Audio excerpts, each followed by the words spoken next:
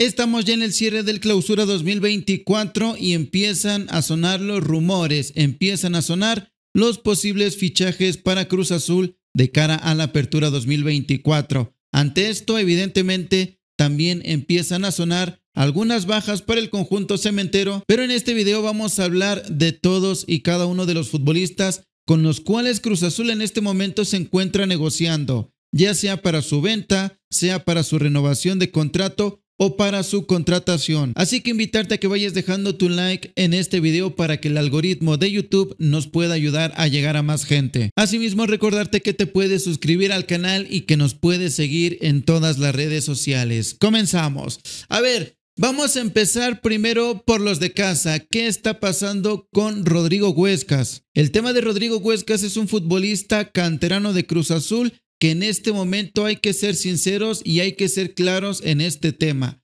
Rodrigo Huescas tiene contrato con Cruz Azul y la intención de Cruz Azul es renovar a Rodrigo Huescas, eso sí, tomando en cuenta que el futbolista quiere salir al fútbol de Europa. De parte del fútbol de Europa, ¿qué tenemos? Sí hay interés de algunos equipos en el viejo continente, concretamente de Países Bajos, el Feyenoord y el NEC son los equipos más interesados en Rodrigo Huescas. Evidentemente ya se está gestionando el tema de alguna negociación, pero de momento no hay ninguna oferta formal en el conjunto de la máquina. A ver, muchos dicen que Cruz Azul está pidiendo 10 millones por Rodrigo Huescas, cosa que es totalmente falsa. Cruz Azul está buscando sí renovar el contrato de Huescas, pero dándole prioridad al futbolista mexicano de alguna oferta del fútbol de Europa. Evidentemente lo que busca Cruz Azul es conservar un porcentaje de la carta de Rodrigo Huescas en caso de que llegue alguna oferta del fútbol de Europa y el canterano termine saliendo del conjunto de la máquina.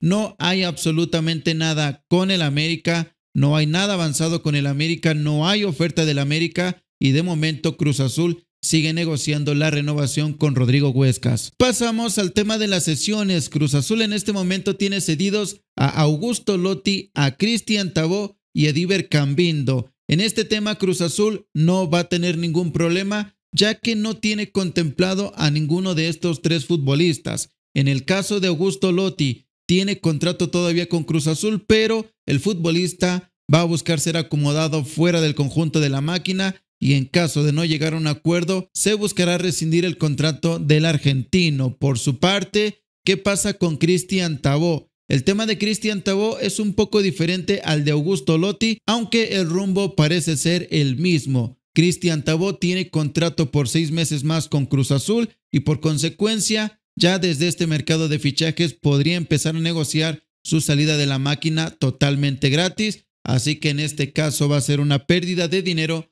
para el conjunto de la máquina. Pero en este caso Cruz Azul no va a batallar para liberar esta plaza de extranjero. Con Diver Cambindo, a ver, con Diver Cambindo es una situación rara. Mucha gente no lo quería después de este paso por el Necaxa. Mucha gente ya lo quiere, pero ¿qué pasa realmente con Diver Cambindo? El préstamo con Necaxa es de un año. Han pasado apenas o está a punto de cumplirse el primer semestre de Diver Cambindo con los Rayos y por consecuencia Tiber Cambindo no puede regresar al conjunto de la máquina. Y a esto hay que sumarle algo que comentábamos y lo hemos dado desde hace unos días. El conjunto de Necaxa ya está empezando a gestionar con el tema de representantes y el entorno de Cruz Azul una compra de Diver Cambindo. Los rayos del Necaxa quieren comprar de manera definitiva a Diver Cambindo. Por consecuencia, el futbolista colombiano no regresaría al conjunto de la máquina. Yo creo que en este aspecto todos estamos de acuerdo que se veía muy complicado toda esta operación y sabíamos también que Diver Cambindo sí respondió muy bien en el Necaxa, pero culminar este préstamo antes de tiempo iba a ser muy complicado y los rayos del Necaxa ya están buscando adquirir de manera definitiva a Diver Cambindo. De momento esto es en los futbolistas que no tiene contemplados Cruz Azul. Hay que sumarle a dos futbolistas uno que aquí el buen Ike Carrera nos dio la exclusiva, que Alexis Gutiérrez saldrá del conjunto de la máquina ya que la agencia que lo representa está buscándole acomodo fuera del conjunto de la máquina. En el tema de Carlos Vargas, vamos a hablar de Carlos Vargas que desafortunadamente otra vez se encuentra lesionado y el futbolista de la máquina todo parece indicar que también será una de las bajas para el siguiente torneo. Y también algo que hemos comentado, Rafa Guerrero. Rafa Guerrero existen muchas posibilidades de que termine saliendo de la máquina. Eso sí, se tiene contemplada una sesión, pero esto todavía no está definido. Ahora pasamos al tema de las altas. De entrada, olvidarse de Irving Lozano. No hay absolutamente nada con Lozano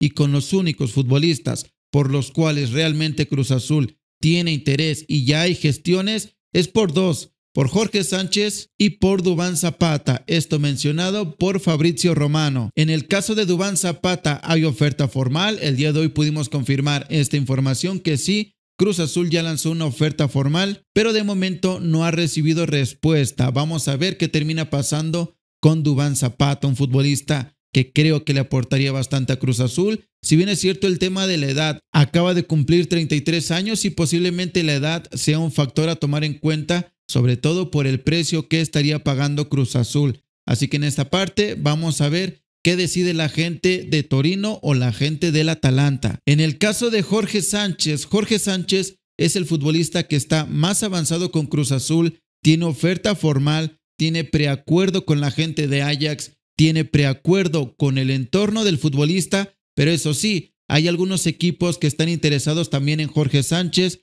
Por ahí supimos que algún equipo de la MLS.